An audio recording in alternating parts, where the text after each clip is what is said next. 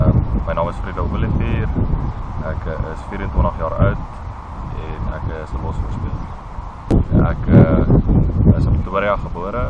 Verder het ek in die Oosrand groot geword, Springs. Ehm um, en ek ek was 'n uh, hoërskool Dr. Johan Jurgens.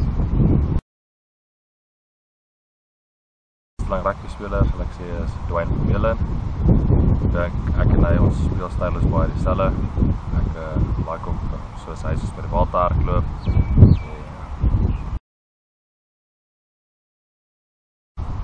Alle kos.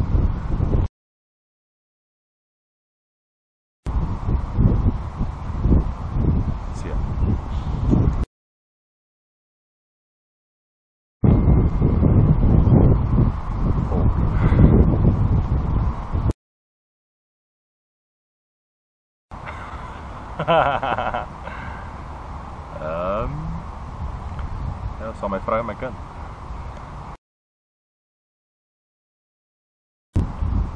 My alles. My beste. Om die hele tyd oefening op wedstryde maak nie saak waar nie om dit my beste te lewe. Om my om my valke op 'n beter plek te kry.